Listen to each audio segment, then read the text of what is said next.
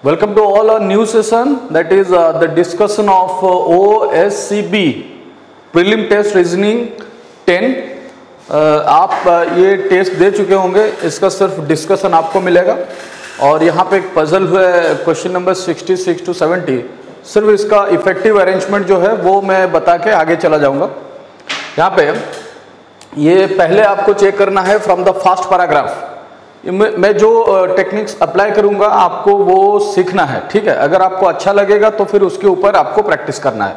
First of all you have to collect all the information from the given paragraph means fast paragraph और वो जो name वगैरह दिया गया है, उसको पढ़ने की ज़रूरत नहीं है, वहाँ पे आपको टाइम सेव करना है। ये वाला लाइन पढ़ने की ज़रूरत नहीं है, ठीक है? और वहाँ से अगर फास्ट लेटर पिक कर सकते हैं तो करिए, नहीं तो पूरा नाम आपको कलेक्ट करना पड़ेगा। यहाँ पे फास्ट लाइन में स्किप करके आगे जा रहा हूँ। ये जानने के लिए सिटिंग अरेंजमेंट किस टाइप का है? मतलब सर्कुलर है या क्या है? यहाँ पे है सर्कुलर और उसके बाद दिया गया है the seats of the ring are not directed towards the centre not directed इसको ध्यान से पढ़ना है, क्योंकि बाकी चीज़ें तो आता रहेगा, लेकिन ये पहले से इंपॉर्टेंट है, किस टाइप का डायरेक्शन है, किस टाइप का सिटिंग अरेंजमेंट है, ये आपको पहले क्लियर करना है। यहाँ पे मैं सिटिंग अरेंजमेंट का पोजिशन जो है eight number of persons that's why I have created over here eight positions then after all the eight students are in four groups named crazy यहाँ पे चार ग्रुप कुछ दिया गया है क्रेजी गैंग मास्टरमाइंड ठीक है मास्टरमाइंड उसके बाद crazy gang mastermind the mafia rockstar mafia और रॉकस्टार ठीक है ये चार जो है दिया गया है चार ग्रुप्स में से हैं, वो सारे स्टूडेंट्स ये ऑर्डर में नहीं है this students are from different states this all are states यहाँ पे मैं लिस्ट कर दे रहा हूँ ताकि ये थ्री डी टाइप पजल होते जा रहा है। तो यहाँ पे एक तो पर्सन है, उसके बाद है ग्रुप्स उसके बाद स्टेट है। तो हम लोग यहाँ पे पुट करने के बाद इसको एक अननेसेसरी चीज़ मान लेते हैं बच्चे। हमको पता है क्यों इसको लिख रहे हैं। ये एक सवाल रहता है। अगर पजल बहुत ज़्यादा कॉम्प्लेक्स हो जा रहा है तो फिर हम रॉफ का यूज़ करते हैं, ताकि ये एक बार से निकल आए, क्योंकि पाँच क्वेश्चन है। अगर एक पॉइंट में हम कंफ्यूज हो गए तो फिर उसके बाद हम आगे बढ़ नहीं सकते। इसीलिए इसका लिस्ट यहाँ पे अगर बना देंगे तो फिर जो एलिमेंट्स जो आइटम्स यहाँ पे आ जाएँगे, उसको हम क्रॉस कर देंगे। इसका मतलब वो यूज़ हो गया है। यहाँ पे देखेंगे फिर एम एच उसका पूरा लिस्ट क्योंकि ये आपका स्क्रीन में होगा।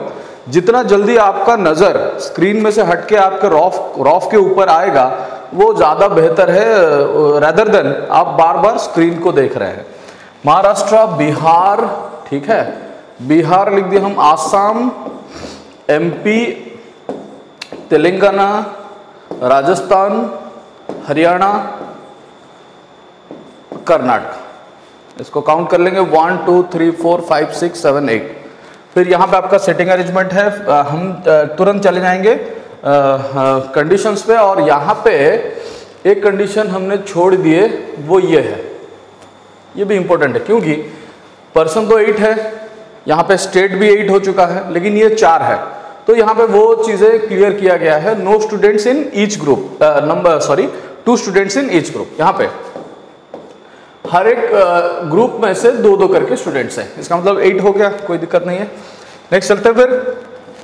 No students of the same group are sitting adjusted to each other except those of group the mafia इसका मतलब यह है माफिया ग्रुप को छोड़ के बाकी जो तीन ग्रुप है, वो आसपास नहीं बैठेंगे।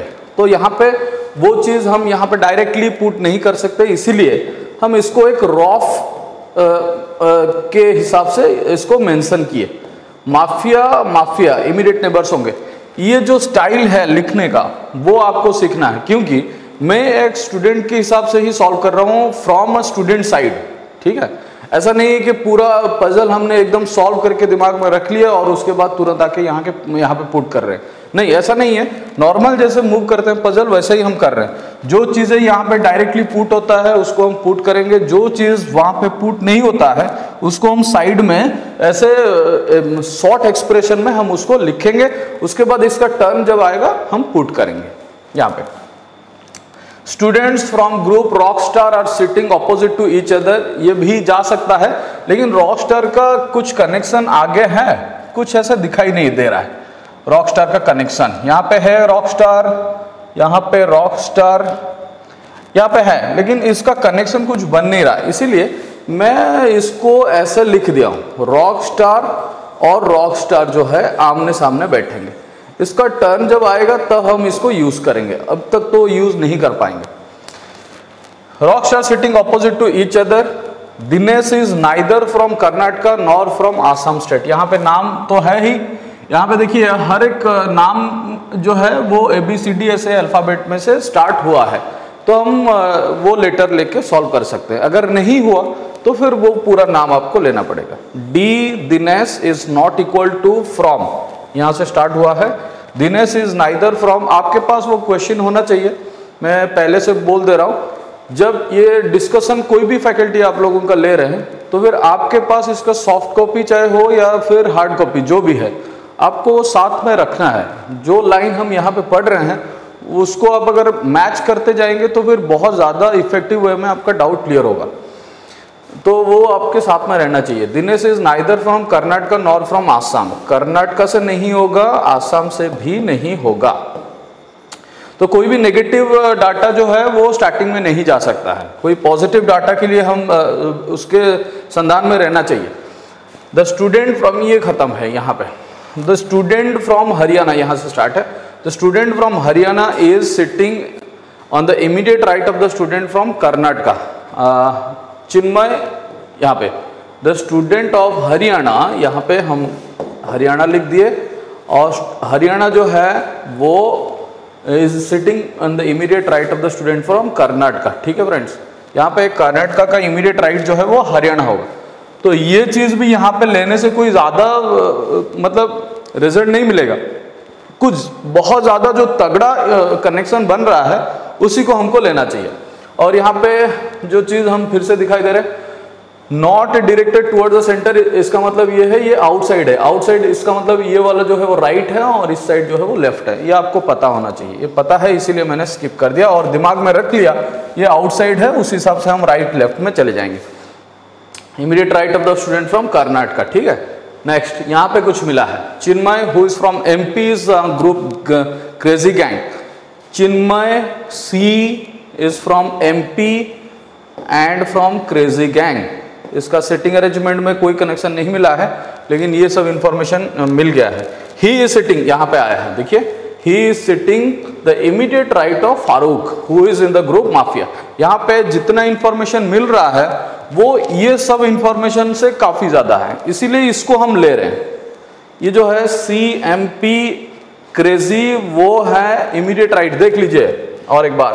He is sitting on the immediate right of Farooq इसका मतलब मैं फारूक को यहाँ पे लिख सकता हूँ, ठीक है? और उसके तुरंत राइट में सी और फिर एम पी और फिर आपका आ गया है क्रेजी यहाँ पे छोटा सा इंफॉर्मेशन मैं ऐड करूँगा, ठीक है? वो जो लिखने का स्टाइल है ना, वो आपका एकदम बढ़िया होना चाहिए। वो पहले मैं पर्सन लिख रहा हूँ, उसके बाद स्टेट उसके बाद जो है वो ग्रुप लिख रहा हूँ।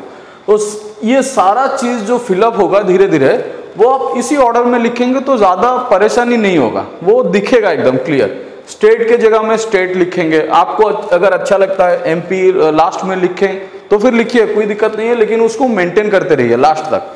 ताकि पता चलेगा, अब लास्ट में कौन सा यूज़ हुआ है, कौन सा यूज़ नहीं हुआ है। अगर मर्ज कर देंगे एमपी के साथ क्रेजी तो फिर आप ही खुद ही कंफ्यूज हो जाओगे। यहाँ पे ये चीज़ जो है, मैंने यूज़ कर लिया और उसको सेटिंग अरेंजमेंट में ऐड भी कर लिया। फिर हम चलेंगे नेक्स्ट फारूक जो है, वो फारूक के इमीडिएट राइट में ये ये है चिन्मय एमपी से है, वो क्रेजी गैंग में से है। Next who is from the group mafia देखिए। ये जो है, वो माफिया ग्रुप में से है। यहाँ पे मैं माफिया लिख लूँगा। और माफिया एक बार यूज़ हो गया इसका मतलब ठीक है? यहाँ पे एफ़ माफिया ग्रुप और उसका स्टेट जो है, वो पता नहीं चला है। हम धीरे धीरे उसका डाटा जो है, वो क्लियर करेंगे। Who is mafia Farooq is not from Assam देखिए, लिखा गया है। वो पॉजिटिव डाटा नहीं है। तो यहाँ पे मैं लिख लूँगा, Farooq is not equal to Assam ये चीज़ें ध्यान रखना चाहिए। ये जो नेगेटिव डाटा है, इसका इंपॉर्टेंस धीरे धीरे मतलब पजल जब काफ़ी मतलब 70-80 परसेंट क्वालिफाई हो जाएगा, तब इसका इंपॉर्टेंस बहुत ज़्यादा रियलाइज़ होता है। लेकिन अगर पहले से सारे नेगेटिव चीज़ों में से आपका ध्यान रहेगा तो फिर वो पजल क्वालिफाई होना बहुत ज़्यादा मुश्किल हो जाएगा। तो यहाँ पे एक कंक्लूजन आ रहा है always focus on positive data in the puzzle rather than a negative Bhavesh is from Bihar is neither in group rock star nor in group crazy gang okay no problem Bhavesh is negative from Bihar nor in the group rock star nor in the group crazy gang और master mind देखिए तो Bhavesh is not from Bhavesh is from Bihar ये तो positive हो गया। ठीक है Bhavesh is from Bihar और ये तीनों ग्रुप में से उसको मतलब माइनस कर दिया जा रहा है। Neither in group rock star में से नहीं है क्रेजी गैंग में से नहीं है मास्टरमाइंड से नहीं है। बचा कौन? रॉकस्टार नहीं है क्रेजी गैंग नहीं है मास्टरमाइंड नहीं है। यहाँ पे बचा है माफिया। तो ये तो पॉजिटिव हो ही गया है। माफिया जो है, वो आपका हो जाएगा भवेश के साथ। भवेश बिहार माफिया। और यहाँ पे ध्यान दीजिए, ये जो माफिया था ना, वो आसपास रहेंगे। और ये माफिया मतलब ये तो माफिया हो ही गया है। ये माफिया है, ठीक है? और ये आपका हो जाएगा बिहार। और ये आपका भूपेश बी। ध्यान रहना चाहिए, यहाँ पे तीन क्वालिफाई हो गया है, यहाँ पे तीन क्वालिफाई हो गया है। ये दोनों आसपास इसीलिए रहेंगे, माफिया को छोड़ के बाकी जितने सारे ग्रुप था, वो आसपास नहीं रहेंगे, ऐसा कुछ डाटा दिया गया था पहले से ही। इसलिए मैं बिना सोचे ही माफिया के साथ माफिया रख दिया और माफिया का कनेक्शन बी के साथ रह रहा है। तो फिर ये जो डाटा है, वो आपका सिटिंग अरेंजमेंट में क्लियर हो चुका है। ठीक है? और ये था F is not equal to Assam next Bhavesh is sitting opposite to Eknath दिया गया है। भवेश इज़ ऑपोजिट टू देखिए Bhavesh is opposite to Eknath ऐसा कुछ आएगा डाटा तो यहाँ पे लिखने की ज़रूरत नहीं था, यहाँ पे बी है तो हम डायरेक्टली यहाँ पे लिख सकते हैं। जो डाटा डायरेक्टली आ रहा है, उसको लिख के टाइम खराब करना नहीं चाहिए तो आपके दिमाग में वो स्ट्राइक करना चाहिए तुरंत।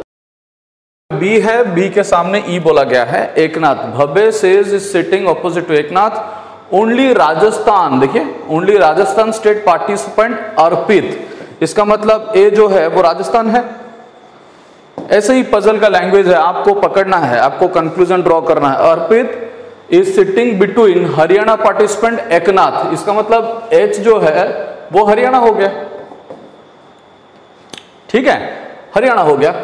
और उसके बाद एंड द तेलंगाना पार्टिसिपेंट ये जो है ये किन दोनों के बीच में रहेगा?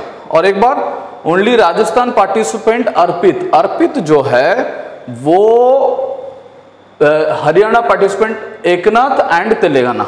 Haryana participant Eknath, Haryana participant Eknath and Telangana. ये दोनों के बीच में आएगा।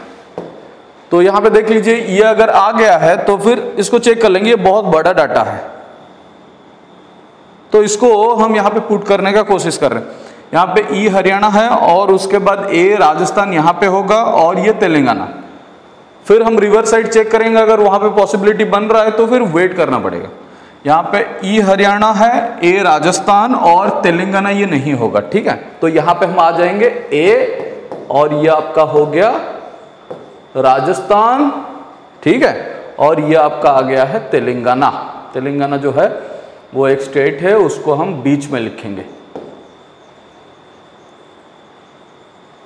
ये आ गया तेलंगाना। लेकिन तेलंगाना का जो है पार्टिसिपेंट वो तो पता नहीं चला है अभी तक, इसको हम देखेंगे बाद में। यहाँ तक हम आ गए हैं, और ये डाटा जो है, वो क्वालिफाई हो चुका है। ये डाटा हमने यूज़ कर लिया है, ठीक है?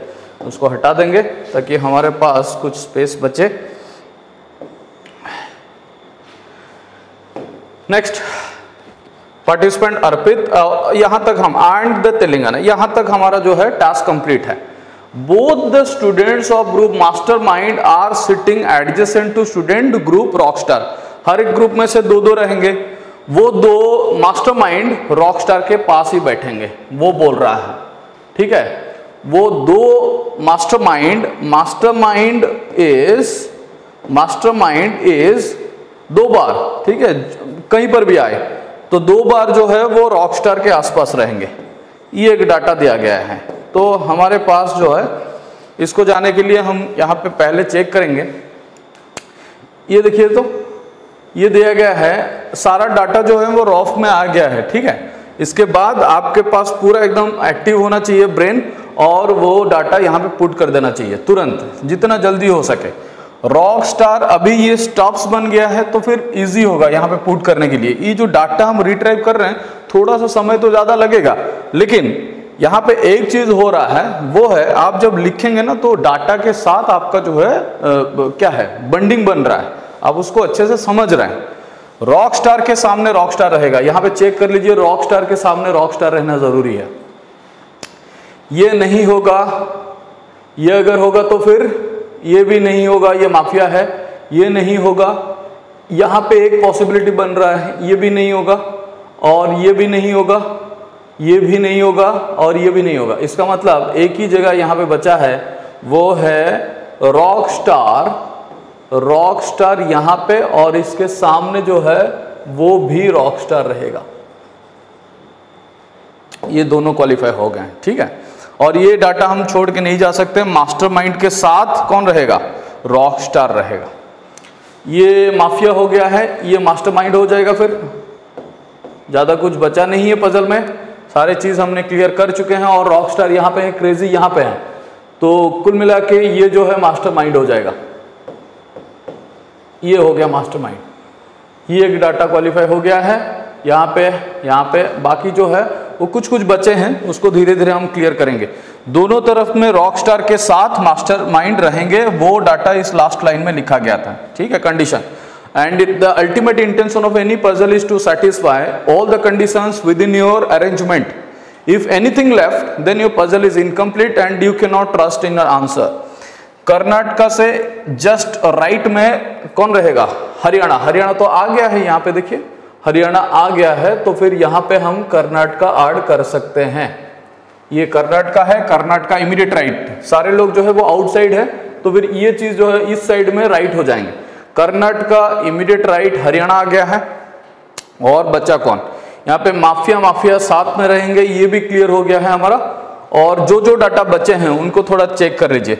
यहाँ पे एफ़ आसाम नहीं होगा, ठीक है? कोई दिक्कत नहीं है। यहाँ पे देखिए ये चीज़ यहाँ पे एक बचा है, यहाँ पे एक बचा है, यहाँ पे एक पर्सन और एक स्टेट आएगा। चलो, कोई बात नहीं है। ये डाटा देख लीजिए एफ़ जो है वो आसाम नहीं है मुझे दिखाई दे रहा है। मतलब आसाम यहाँ पे नहीं होगा। और स्टेट के लिए जगह जो बचा है वो ये है।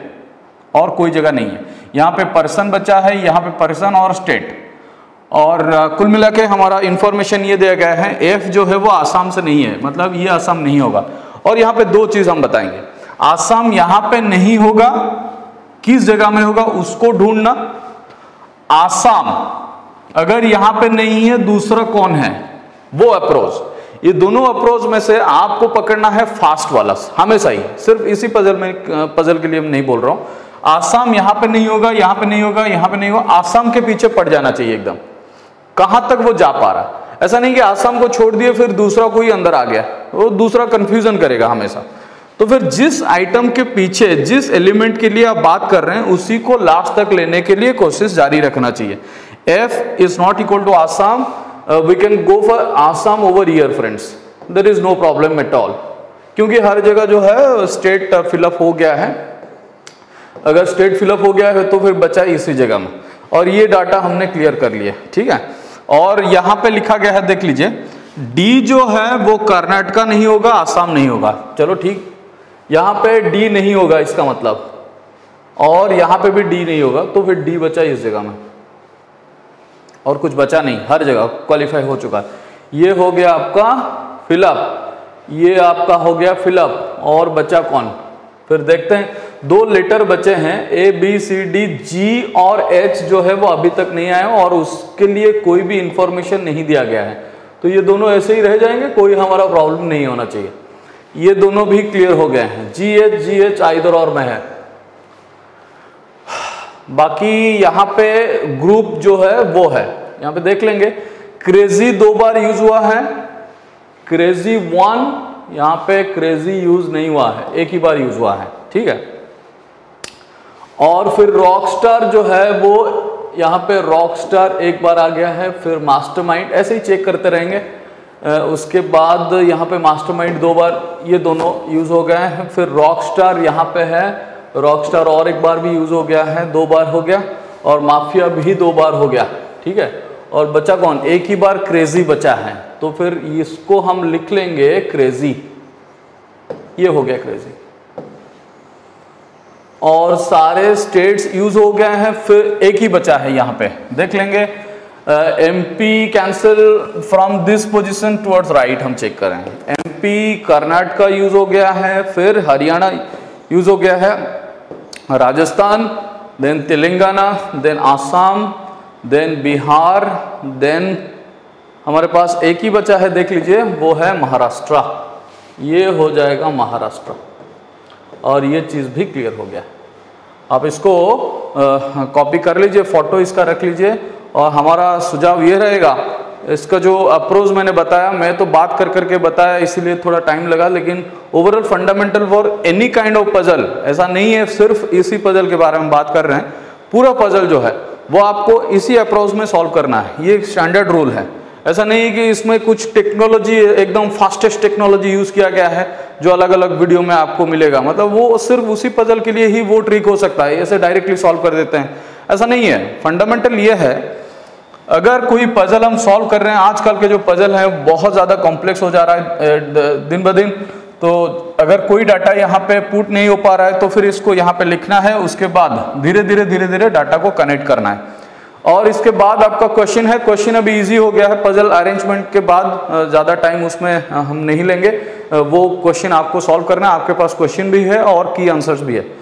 Important is arrangement next question के लिए हम चले जाएँगे। यहाँ पे वही मिक्स्ड कोडिंग और ये चीज़ जो है, मैं तो यहाँ पे इसको लिख के रखा हूँ। ऐसा तो नहीं लिखा जाता है। मैं सिर्फ़ समय बचाने के लिए इसको लिखा हूँ। आपको रॉफ में ये चीज़ें इसी टाइप आपके रॉफ में रिट्राइव करना है। देखिए नंबर ऑफ़ क्वेश्चन कितना है? One two three four five पाँच क्वेश्चन है, अगर जल्दबाज करेंगे तो फिर इसमें गलत होने का चांसेस बढ़ जाता है। और कोई भी बच्चा इसी क्वेश्चन में इमोशंस ज़्यादा रहता है, मुझे पता है। ये बहुत ज़्यादा इजी क्वेश्चन है, इसीलिए इसको देख के तुरंत एकदम से चले जाते हैं। लेकिन डायरेक्टली स्क्रीन से सॉल्व करना मुझे नहीं लगता एक बहुत ज़्यादा इफ़ेक्टिव सोच है डायरेक्टली स्क्रीन से सॉल्व करना। मुझे नहीं लगता है, क्योंकि पाँच क्वेश्चन है, आपको थोड़ा सा समय उस पर देना चाहिए। चांस नहीं लेना है। तो इसी टाइप हर एक लाइन के लिए उसका रेस्पेक्टिव डी कोड जो हुआ है, मैंने उसको लिख दिया। और आपको पता है इसका तरीका क्या है। या लेफ़्ट साइड से लेना है और उस हिसाब से राइट साइड से। मतलब वो हो सकता है दो बार कंपेयर हो, चाहे तीन बार फंडामेंटल ये है। इसी लाइन में, देखिए, आप अगर नया है तो फिर इसको समझ जाएँगे इतना टफ टास्क नहीं है। पहले से दिमाग से ये हटा लीजिए कोई रेस्पेक्टिव वैल्यू में से नहीं है। Economy economy and here it is friends economy I have use three times economy over here in the left side and simultaneously you have to pick the same bunch of letters in the right side from that particular line यहाँ पे ऐसा को, क्या common है? यहाँ पे देखते हैं के ए है के ए है यहाँ पे के है। एल ए देखिए, इसमें एल ए नहीं है। इसका मतलब यह है के ए जो है, वो इकोनॉमी के लिए ही डिजाइंड हुआ है। नेक्स्ट और क्या हमारे पास बच गया है? मनी यहाँ पे मनी और कहाँ पे है? नहीं है। First line third line is money first and third line में क्या ऐसा कॉमन है? एल ए मुझे दिखाई दे रहा है। देखिए एल ए एल ए उसी टाइप उसी सिंबल को आपको यूज़ करना है। आपके पास क्वेश्चन है, सिर्फ़ प्रोसेस हम बता रहे हैं, उसको आप चेक करते रहिए। यहाँ पे डिमांड बच गया है और यहाँ पे है डिमांड ठीक है? तो वो है second line and last line second and last line में कॉमन ऐसा क्या है? यहाँ पे एमओ दिखाई दे रहा है और यहाँ पे एमओ ठीक है? नेक्स्ट साउंड मुझे दिखाई दे रहा है और यहाँ पे साउंड है। आप देख सकते हैं second line and last line common क्या है? चेक कर लीजिए।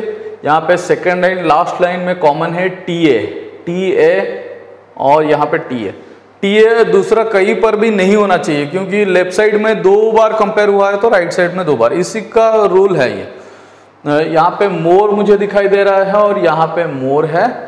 और वो है तीन नंबर और चार नंबर लाइन में Z I Z I very nice Z I यहाँ पे है, ठीक है? और क्या बचा है? नॉट हमारे पास नहीं है, एंड भी नहीं है, और ये एंड है एंड है लेकिन ना, दूसरी बार नहीं है, सर्च नॉट सर्च नॉट भी नहीं है। देखिए, इतना सारा जो है वो कंपेयर हो गया है। तो डायरेक्टली हम चलेंगे क्वेश्चन यहाँ पे क्वेश्चन हम इसलिए मेंशन किए, क्योंकि कुछ ऐसे टिपिकल क्वेश्चन पूछ लेता है पॉसिबिलिटी कोड ये सब पूछ लेता है। What is the code for and in the given language यहाँ पे एंड जो है, वो है फ्री और राइट right साइड में जो होगा फ्री वो, वही होगा आंसर पी है इसका मतलब ये हो गया answer what is the code for sound in the given code language ये वर्टिकल जो पैरेलल लाइन मैंने दिया वर्टिकली पैरेलल वो है टी ए और टी ए के साथ हम चल जाएँगे, क्योंकि इस लाइन में वो कन्फर्म हो गया है। साउंड का कोड जो है, वो कन्फर्म है T A only T A is the answer here it is what may be the possible code यहाँ पे देखिए, ये लैंग्वेज जो है, वो थोड़ा सा कंफ्यूजन करता है। हो सकता है यहाँ पे एक नया वर्ड हो, चाहे ऐसा वर्ड दिया गया है जिसका यहाँ पे क्लियर नहीं हुआ है कोड दो पॉसिबिलिटीज और अगर नया कोड है तो फिर आपको नया कोड जाना चाहिए ऑप्शन में। अगर यहाँ पे पॉसिबिलिटीज है तो फिर कोई भी अगर दोनों मतलब इसी टाइप हम पूछ रहे हैं। यहाँ पे पार्ट का कोई स्पेसिफिक कोड हम नहीं बोल सकते। हो सकता है वो एनी हो सकता है वो के आई यहाँ पे देखते हैं पार्ट जो है वो एन और के आई डायरेक्टली आ गया है। पार्ट के लिए एन और के आई ये दोनों में से एक हो सकता है। ओनली के लिए क्या हो सकता है? ओनली भी वही है। एन ई और के आई फिर ऑप्शन चेक करेंगे। मोर के लिए क्या है? मोर इसमें है या नहीं है? ट्रैंगल है। जेड आई इसमें जेड आई होना ज़रूरी है, ठीक है? यहाँ पे तीन वर्ड है और इसी प्रकार। इसका मतलब जो बंच है, उसमें एन ई रहना चाहिए। और के आई दो बार एन ई होगा तो वो गलत होगा। N E K I Z I वो बंच में अगर वो सफल हो गए हैं, कोई दिक्कत नहीं है, हमको लेकिन वो लॉजिकल बंच चाहिए। N E K I Z आई देखिए, यहाँ पे है। और किसी में नहीं है सो फिर answer is set to be A in 73 what may be the possible code for more money more money more का कोड क्या हो गया यहाँ पे? मोर जो है वो ट्रायंगल है जेड आई ठीक है? और मनी जो है, वो बचा है यहाँ पे। ऐसा लाइन ऐसा line L A Z I L A होगा आंसर ये है। एल ए जेड आई वो आगे पीछे रहेगा तो कोई दिक्कत नहीं है। इसका लॉजिक वो नहीं कि रेस्पेक्टिव पोजिशन में रहे। वो बंच में वो रहना चाहिए। What is the code for economy in the given code language economy यहाँ पे हमारा क्वालिफाई हो गया ऐसा लाइन ये वाला लाइन तो के हो जाएगा आंसर ये आपका है। और इसमें आपको फंडामेंटल में बताया, दोनों तरफ़ से आपको कंपेयर करना है, कोई भी रेस्पेक्टिव पोजिशन वैल्यू में वो नहीं है। नेक्स्ट क्वेश्चन के लिए चलते हैं फिर। यहाँ पे कुछ पैरेलल सिटिंग अरेंजमेंट दिया गया है ten percent sitting in two parallel ये मुझे दिखाई दे रहा है। Containing five percent is such as this way equal distance between adjacent person in the first row यहाँ पे इसका मतलब दो रो है। पाँच पाँच करके बैठे हैं। ठीक है? और उसके बाद in the first row S1, S2 this all are them facing south के लिए देख रहे हैं वो। ये बहुत इजी है आप लोग इसको सॉल्व किए होंगे कोई दिक्कत नहीं है। साउथ uh, के लिए दिख रहे हैं मतलब यहाँ पे मैं ले जाऊँगा। S one to S five ये सारे जो एस वाला जो पर्सन है वो इस लाइन में आ जाएँगे। सेकेंड रो एन वाला जो पर्सन है, वो सारे नॉर्थ के लिए दिखेंगे। Therefore in the given seating arrangement each member seated in a row faces another member of the other ये इसीलिए बोला गया है कि ताकि फेस टू फेस आपको कंपेयर करना है।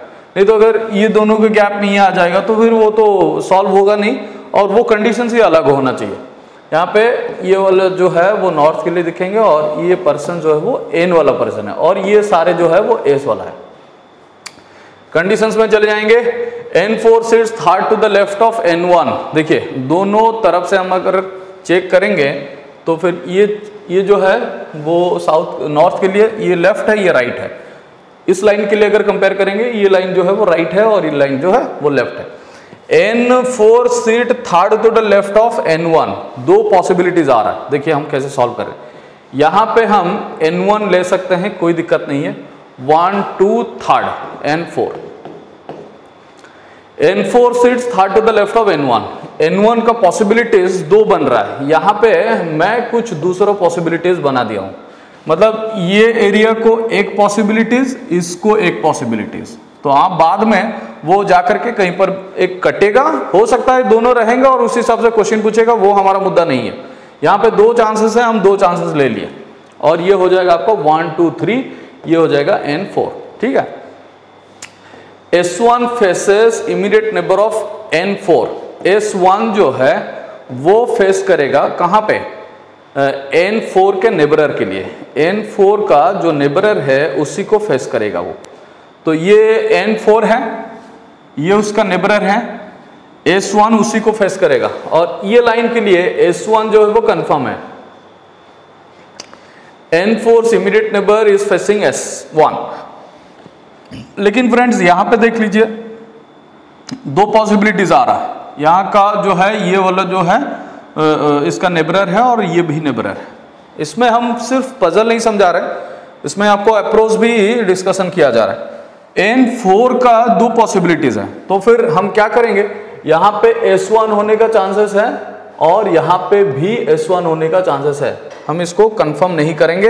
अभी फ़िलहाल इसको वेट करेंगे। जब तक ये क्लियर नहीं हो जाए, तब तक उसको रहने दीजिए। Next S three seat second to the right of S one अब देखिए एस वन का सेकेंड राइट में S four sorry S one faces N immediate number of N four S three second right of S one S one second right is S three इसका मतलब यहाँ पे S one होने का chances एकदम से खत्म है।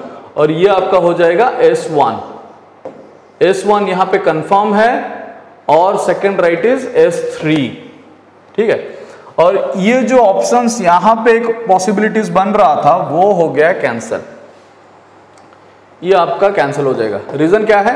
यहाँ पे एस वन का सेकंड राइट के लिए स्पेस बचा नहीं है। तो फिर एन वन का जो पॉसिबिलिटीज इस जगह में बन रहा था वो हो गया कैंसिल और इसमें अगर गेस करना चाहेंगे ना, ये ये जगह गलत होने का चांसेस 90 परसेंट है, क्योंकि उसके बाद एस वन का जगह जो है, वो कंफर्म हो जा रहा है, इसीलिए। यहाँ पे पॉसिबिलिटीज बन रहा है तो वो ऐसे सिचुएशन क्रिएट करेंगे। ये हमारा हो गया कंफर्म ठीक है next only one person seat between S two S four S two S four के बीच में सिर्फ़ एक ही पर्सन रहेंगे। तो फिर हमको ये दिखाई दे रहा है एस टू और एस फोर यहाँ पे एस टू और एस फोर और कोई जगह नहीं बचा है, एक पर्सन इसके गैप में आएँगे। लेकिन किस जगह में एस टू रहेगा, किस जगह में एस फोर रहेगा, वो अभी तक कंफर्म नहीं हुआ है, लेकिन मैक्सिमम पोजीशन वही है। N two N five are immediate neighbours of neighbours immediate neighbours ये दोनों एकदम से नया है तो फिर इसी जगह उनका पॉसिबिलिटीज बनेगा। एन टू एन फाइव मैं अगर आइदर और का कोई भी पॉसिबिलिटीज बन, बनता है पजल में, मैं उसको ले लेता हूँ। ताकि वो पता चले कि ये चल रहा है उसमें। ये दोनों को यहाँ पे लिख देने से, इन दोनों का मैक्सिमम पोजीशन हो, वो यहाँ पे क्लियर हो गया है। उसके बाद उसको तुरंत क्लियर किया जा सकता है।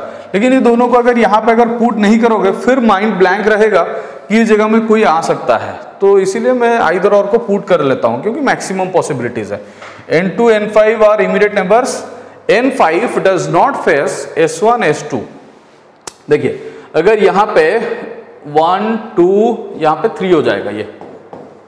और यहाँ पे वैसे ही S one S two three four यहाँ पे एस फाइव आ जाएगा, ये कंफर्म है। और इसी लाइन की वजह से हम अभी कुछ क्लियर करवाएँगे। ये लाइन जो है वो पजल को, ये जो आइदर और है, वो क्लियर हो जाएगा शायद N five does not face S one S two N five S one S two को फेस नहीं करेगा। इसका मतलब यहाँ पे एन फाइव नहीं हो सकता है क्योंकि यहाँ पे एस वन है। N five does not face S one S two N five does not face S one और एस टू इसका मतलब अगर यहाँ पे एन टू तो कंफर्म हो गया। ये गलत है। ये एन फाइव कंफर्म है। एन टू जो है वो हो गया यहाँ पे कैंसल ठीक है? अब एन फाइव एस टू को भी फेस नहीं करेगा। इसका मतलब यहाँ पे S2 नहीं होंगे। ये हो जाएगा S2 और ये S4 नहीं होगा ये हो जाएगा S4 ये आपका पजल जो है वो क्लियर हो गया है। N1, N5, N2, N4, N3 और S3, S2, S1, S4, S5 और क्वेश्चन में ज़्यादा कुछ है नहीं वो क्वेश्चन आप सॉल्व कर सकते हैं इसीलिए वो क्वेश्चन हमने नहीं दिए सिर्फ़ अरेंजमेंट के लिए हमारा प्लान है। नेक्स्ट यहाँ पे सिर्फ़ मैं लॉजिक बोल के आगे चला जाऊँगा ये मशीन इनपुट है और इसमें काफ़ी इजी लॉजिक था आपको पकड़ में आ गया होगा। सिर्फ़ फॉर्मेलिटीज हम मेंटेन करेंगे यहाँ पे दोनों साइड से चेंज हो रहा है इसको आपको ऑब्ज़र्व करना है और YouTube का काफ़ी वीडियो हमने देखे हैं। ये जो मशीन इनपुट के लिए बताए हैं वो लोग। नाइन्टी परसेंट ऐसे वीडियो आपको मिलेगा जो बोल रहे हैं कि लास्ट स्टेप में जाके आपको लॉजिक तय करना है। ऐसा कभी मत कीजिएगा, ठीक है? ये मेरा आपको रिकमेंडेशन है, ऐसा कभी मत कीजिएगा, क्योंकि ऐसा ज़रूरी नहीं है, हर चीज़ वो लास्ट स्टेप में दिया रहेगा। तो वो लोग वो क्वेश्चन लिए हैं, जिस क्वेश्चन में वो लॉजिक अप्लाई हो रहा है। इसलिए आप देखते रहिए, लेकिन आपका बुद्धि जो है उसमें प्रयोग होना चाहिए इंटेलिजेंस जो है वो ऑन रहना चाहिए कि वो लोग क्या बता रहे हैं। ऐसा नहीं कि एकदम से ब्लाइंडली एक्सेप्ट कर लिए सब। यहाँ पे लेफ़्ट साइड में चेंजेस हुआ है और राइट साइड में चेंजेस हुआ है। अब चेंजेस देखने के बाद क्यों चेंजेस हुआ, ये पूछना चाहिए। 81 क्यों? दूसरा, ऐसा नंबर तो काफ़ी है। फिर what is the speciality in 81 81 is the highest number in the left side and in the highest word in the right part. Then after 81 in the second step is moving towards right and word is also moving towards left. इसका मतलब दोनों तरफ़ से change होने के बाद वो आपस में मिलने के लिए कोशिश कर रहे हैं बीच में आएँगे वो ये है बीच में आ गए हैं ठीक है और उसके बाद ऐसा नहीं है ई पे हम डिसाइड कर लिए एकदम उसके बाद भी कुछ चेंजेस हैं यहाँ पे है एक आया है 81 after moving towards right Uh, the lowest number comes fast in the left side and after world is moving towards left यहाँ पे वो डिक्शनरी का जो है रिवर्स ऑर्डर में चल रहा है। रिवर्स ऑर्डर मतलब highest letter first then after lowest ऐसे ही वो ऐसे मूव करते हुए एकदम से सेंटर के लिए मूव किए यहाँ पे। और इसके बाद देखिए highest lowest highest lowest highest lowest ऐसे लॉजिक मूव कर रहा है। और ये डिक्शनरी का जो है वो रिवर्स ऑर्डर में है। ये आपका इनपुट है, आपको इसको सॉल्व करना है। लॉजिक बताने के बाद इनपुट आउटपुट में ऐसा कुछ बचता नहीं है। सो so, समय ज़्यादा इम्पोर्टेंट है इसको सॉल्व करना एकदम से मतलब क्या है? अननेसेसरी है। इसको आपको लिख के आराम से सॉल्व कर सकते हैं। सिर्फ़ लॉजिक आपको बताया मैं। नेक्स्ट यहाँ पे 86 को चलेंगे फिर। R is mother in law of S who is sister in law of Q P is father of Q who is the only brother of T how are related to to इस प्रकार question में अगर R last में रह जाता तो फिर हम डायरेक्टली आंसर कर देते। कैंट से करके ऐसा कुछ। जेंडर क्वालिफाई नहीं होगा, उसके लिए हम कैंट से तक जा सकते थे। लेकिन यहाँ पे जो सिस्टम दिया गया है, कहीं ना कहीं हमको फैमिली ट्री के लिए जाना पड़ेगा। R is mother in law of S ठीक है? देखिए, यहाँ पे मदर इन लॉ मतलब वो इन लॉज के साइड में से है। हु एस के बाद लिखा गया है तो फिर हु ही। हु मतलब S S is sister in law of Q यहाँ पे क्यू आ जाएगा। यहाँ पे भी क्यू आने का चांसेस है, लेकिन इस साइड से नहीं चांसेस हम नहीं बनाएँगे। अगर ये क्वालिफाई नहीं हुआ तो फिर उसके बाद राइट साइड में हम चांसेस बनाएँगे।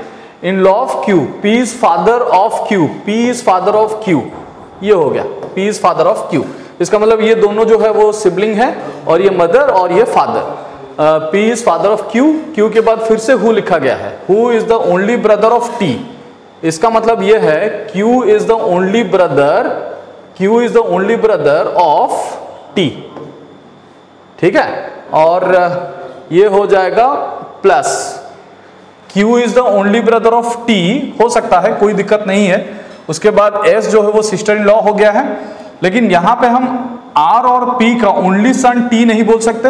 आर पी का ओनली सन क्यू नहीं बोल सकते।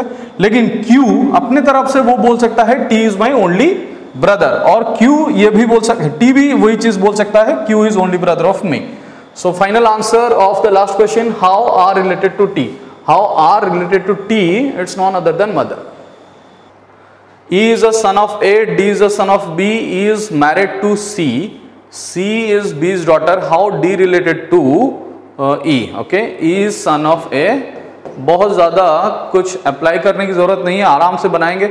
E is a son of A D is a son of B D is son of E is a son of A E is son of A sorry ये नहीं होगा. E is son of A D is son of ऐसे इसको अलग कर दीजिए. E is son of A D is son of B D is son of B E is married to C अच्छा E is married to C मतलब minus हो जाएगा. Because of this is couples and this is plus is of course minus C is B's daughter C is B's daughter अच्छा ठीक है। ये जो है सी बी का डॉटर होगा और ये दोनों एक ही लाइन में आ जाएँगे। ये दोनों। C is B's daughter how is D related to E how is D related to E देखिए, ये इन लॉज ही होंगे। ये एक रिलेशन बन बन चुका है क्रॉस रिलेशनशिप और एक दूसरे फैमिली में से है डी और अगर पूछा है how D related to E of course is because of the gender D is brother in law no problem with it आपका ये आंसर हो गया होगा, ऐसा कुछ इसमें है नहीं। नेक्स्ट यहाँ पे एक फ्लोर अरेंजमेंट दिया गया है। देर आर सेवन पर्सन और सेवन डिफरेंट फ्लोर्स आप दिख सकते हैं। One two three four five six seven हम सेवन फ्लोर बना दिए हैं और उसके बाद देखेंगे क्या डाटा दिया गया है। मैं आपको बताया था, वो नेम आपको पढ़ना ज़रूरी नहीं है, इसको छोड़ देंगे, उसके बाद देखेंगे। They all like different sweets इसको भी पढ़ने की ज़रूरत नहीं है। इसको आप यहाँ पे नोट कर सकते हैं, नहीं तो फिर यहाँ से देख के भी सॉल्व कर सकते हैं। F K likes gulab jamun and live just above A K जो डाटा पुट नहीं होगा, उसको हम ऐसे रॉफ बनाएँगे, उसके बाद यहाँ पे पुट करेंगे। F K likes gulab jamun gulab लिख देंगे कोई दिक्कत नहीं है। And lives just above A K this person lives just above ऐसे मैं लिखा हूँ आपको अगर दूसरा कोई भी फॉर्मेट अच्छा लगे तो फिर लिख सकते हैं लेकिन यहाँ पे हम डायरेक्टली नहीं जा पा रहे हैं इसीलिए इसको ऐसे लिख दिए हैं। There are three floors between the one who likes barfi और रसमलाई। वन टू थ्री और यहाँ पे हम बता रहे हैं uh, ये जो है बर्फ़ी नीचे भी आ सकता है रसमलाई ऊपर भी आ सकता है कोई दिक्कत नहीं। इस, इस सिर्फ़ एक रेफरेंस पर्पस में लिखा गया है, rasmalai. CK likes kaju barfi and lives in third floor अच्छा ठीक है। अगर ये डाटा डायरेक्टली दिया गया है तो फिर हम इसको लिख देंगे थर्ड फ्लोर में। सिक्के और ये हो गया काजू बर्फ़ी। एक, दोनों टाइप का बर्फ़ी यहाँ पे दिया गया है। काजू बर्फ़ी एक है और एक बर्फ़ी स्पेशल है। यहाँ पे काजू बर्फ़ी, यहाँ पे काजू बर्फ़ी लिख देंगे। ठीक है next CK likes barfi and lives in third floor the one who likes rajbhog live just below CK ठीक है? ये तो बहुत ज़्यादा इजी हो गया इसका मतलब। Rajbhog just below CK but above the one who like rasmalai ये रसमलाई के एबव होगा।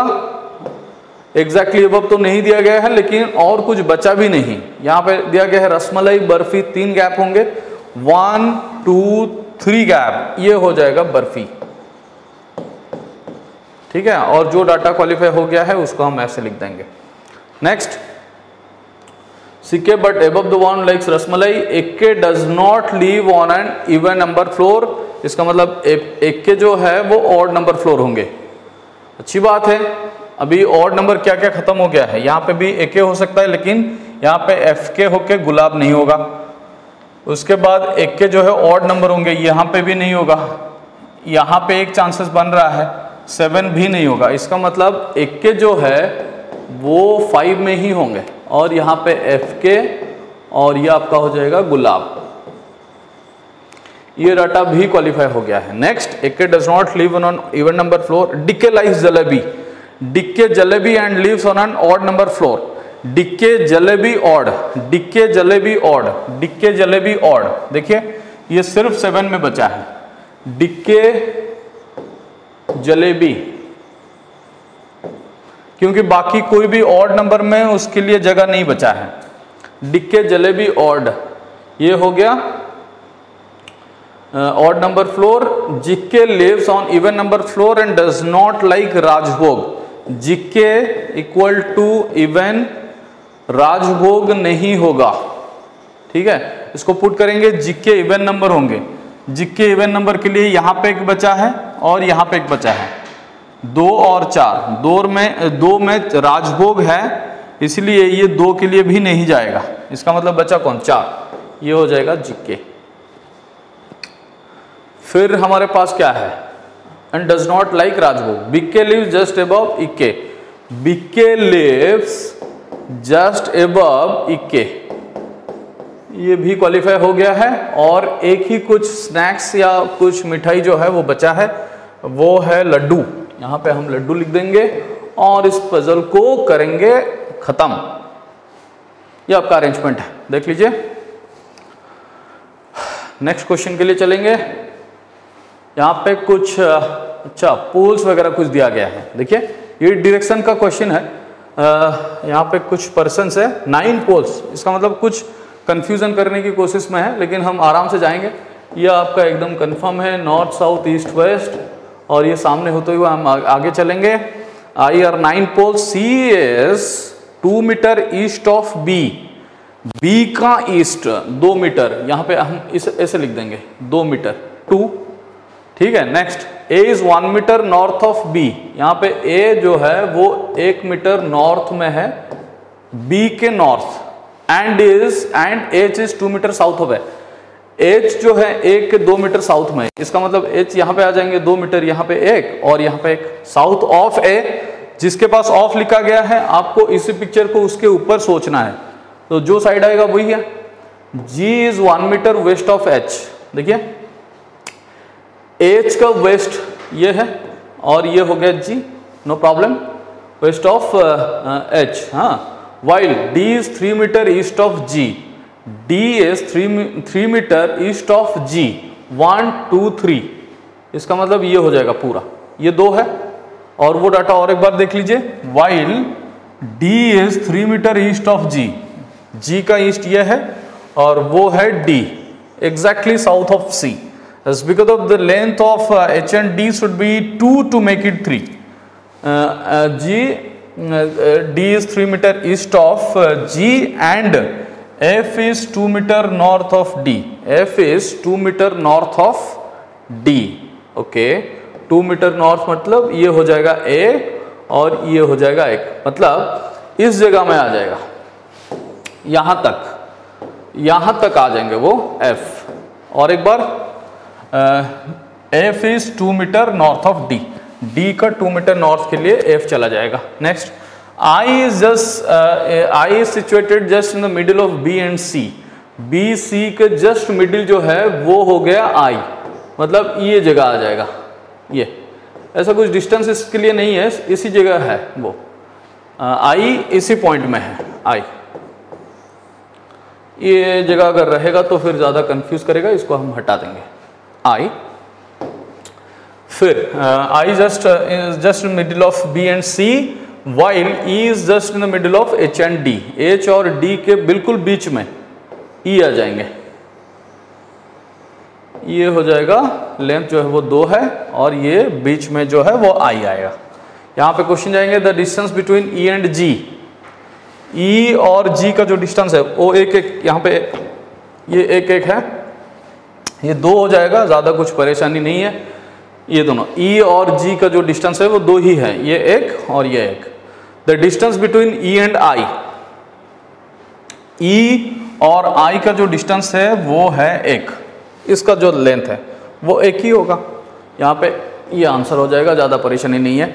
G is in which direction with respect to the pole F G is in which direction with respect to the pole F अगर इस प्रकार question पूछा गया है again the base point should be designed with north south east west इसको लिखने की ज़रूरत नहीं है, मैं सिर्फ़ बताने के लिए बोल रहा हूँ। मतलब जो पॉइंट बेस है, ये पिक्चर को उसी जगह में सोचना चाहिए। अब जी साउथ वेस्ट में आ जाएँगे और क्या? साउथ वेस्ट साउथ वेस्ट अगर इसमें नहीं है, ये और एक बार पढ़ लीजिए। G is in which direction with respect to pole F F के हिसाब से जी का डायरेक्शन क्या है? North south, east west, south west हो जाएगा। साउथ वेस्ट इसमें ऑप्शन नहीं है, सो फिर इसका आंसर जो है वो नॉर्थ, नॉन ऑफ़ दिस के लिए चला जाएगा। ये है आपका आंसर। नेक्स्ट क्वेश्चन के लिए चले जाएँगे। यहाँ पे सिलॉक्स है। अच्छा सिलॉक्स का फंडामेंटल आपका क्लियर होना चाहिए। अगर नहीं है तो फिर यहाँ पे कोशिश करिए। लैंग्वेज हो सकता है चेंजेस रहेगा, लेकिन fundamental will remain same up to the last यहाँ पे some keys are doors no lock is key यहाँ पे no lock. Venn diagram is one of the most effective way इसीलिए बोल रहे हैं कि 100 परसेंट क्वेश्चन जो है वो इसी में इक्विप हो सकता है। ऐसा नहीं कि अलग अलग क्वेश्चन के लिए हम अलग अलग फंडामेंटल बनाएँगे। All doors are window all doors are window यहाँ पे है। एटलीस्ट मतलब वो सॉम के लिए जाएगा, उसके लिए कुछ नया ट्रीटमेंट नहीं है। सम कीज आर डेफिनेटली जो है, वो भी डेफिनेट लैंग्वेज है। सम कीज आर विंडो की विंडो के लिए चला जाएगा सम पार्ट के लिए। तो ये ट्रू हो जाएगा। Some keys are windows at least some doors are not देखिए, कितना इजी क्वेश्चन है। At least some doors are not locks ये जो डोर है, कुछ पार्ट जो है, वो लॉक नहीं होंगे, क्योंकि यहाँ पे नेगेटिव चल रहा है। Some part of D can not be the part of L and this is true no window is door यहाँ पे विंडो और डोर का रिलेशन जो है, वो पॉजिटिव में है। देखिए, यहाँ पे कितना इजीली सॉल्व हो रहा है। ये पॉजिटिव लाइन है स्टेटमेंट में। क्वेश्चन जो है, वो नेगेटिव में है। ज़्यादा सोचने की ज़रूरत नहीं है, ये फॉल्स ही होगा। क्योंकि कोई भी नेगेटिव स्टेटमेंट में से हम नेगेटिव पॉजिटिव कंक्लूजन ड्रॉ नहीं कर सकते vice versa from any positive statement we can not draw any type of negative conclusion यहाँ पे आंसर आपका हो जाएगा only one and two only one and two यहाँ पे है। नेक्स्ट क्वेश्चन यहाँ पे ऑल टीचर्स और प्रोफेसर टीचर और प्रोफेसर सम राइटर और प्रोफेसर या सम राइटर और professor no doctor is teacher यहाँ पे नो डॉक्टर इज़ टीचर ये हो गया picture some teacher are definitely not writers some teacher are definitely not writers देखिए relation from T to W is unclear uncertain uncertain से हम definite language के लिए नहीं जा सकते, ये गलत हो जाएगा. At least some professor are writer some professor are writer at least some professor और राइटर ये तो है ही. और इसमें कुछ प्रॉब्लम नहीं है। एटलीस्ट लिखा गया ही रिपीटेशन में नहीं है। तो फिर इसको हम चले जाएँगे ट्रू सम डॉक्टर्स और प्रोफेसर यहाँ पे डॉक्टर यहाँ पे professor uncertain relation definite question ये गलत हो जाएगा। फिर आंसर हो गया आपका only two follows only two follows यहाँ पे है ही। नेक्स्ट क्वेश्चन यहाँ पे आ गया आपका all dogs are birds no swan is dog no swan is dog no crow is bird ये बर्ड था। No crow is bird again negative no crow is bird अब नेगेटिव रिलेशन बी के साथ सी आर का चल रहा है और एस का चल रहा है डी के साथ। कुल मिला के एस और बी का रिलेशन जो है वो क्लियर नहीं है। No dog is crow no dog is crow ये पूरा बाउंड्री जो वो नेगेटिव हो गया है ultimately overall elements from B side is negative to C R side that's why this is true from negative to negative we can move no dog is crow no dog is one देखिए no dog is one यहाँ पे no swan is dock लिखा गया था, ये reverse है तो फिर ये सही हो जाएगा। ये रिपीटेशन में नहीं है। अगर रिपीटेशन होता, इसका मतलब स्टेटमेंट में जो दिया गया है, उसी चीज़ अगर कंक्लूजन में एकदम से कॉपी पेस्ट है, उसको एक कंक्लूजन नहीं बोला जाएगा। ये एक लिटिगेटिव टाइप लैंग्वेज है। क्वेश्चन है, कभी भी एग्ज़ाम में नहीं पूछा है, लेकिन मेरे ख्याल से repetition of statement should be wrong one यहाँ पे at least some birds are not swan some birds are not swan क्योंकि all birds cannot be swan. If all satisfy, then some not is also satisfy. At least some birds are not swan, ये correct हो जाएगा. All one two three follows, यहाँ पे है answer last question के लिए हम चले जाएँगे. नहीं लास्ट नहीं है 99 है, उसके बाद लास्ट आएगा। No plate is bowl some bowls are spoon all glass are spoon all part is not bigger part this a smaller part all glasses are small next some spoon are not plate some spoon are not देखिए, हर वो spoon अगर हम P के लिए कोशिश करेंगे तो फिर वो नहीं होगा।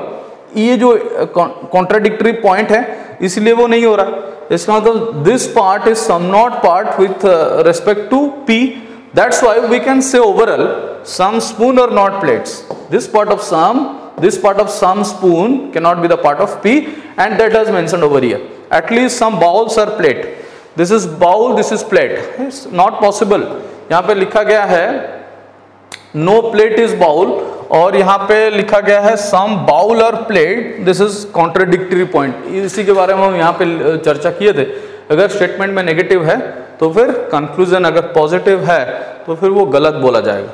No bowl is a glass यहाँ पे बाउल है, यहाँ पे ग्लास है। ये दोनों का रिलेशन अनक्लियर्ड है। अगर अनक्लियर्ड है तो फिर हम कोई भी डेफिनेट कंक्लूजन के लिए नहीं जा सकते। ये हो गया गलत और आपका आंसर हो गया only one follows only one follows मतलब यहाँ पे लास्ट क्वेश्चन यहाँ पे। Some words are vowels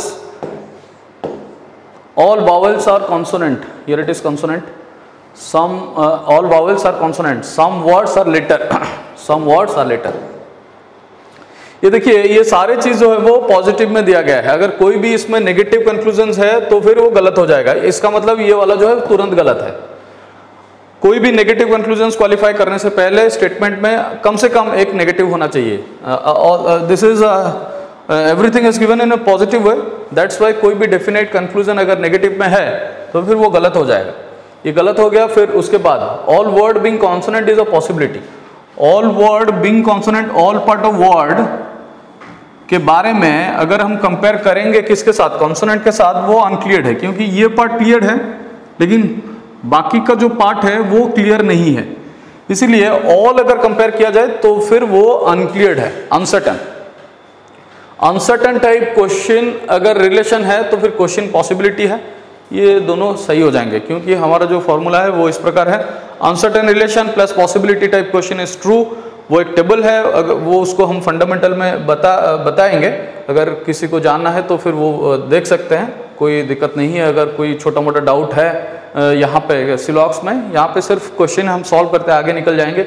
All letters being vowel is a possibility all letters being vowel is a possibility all part of L with V is uncertain relation there is nothing mentioned between these two elements.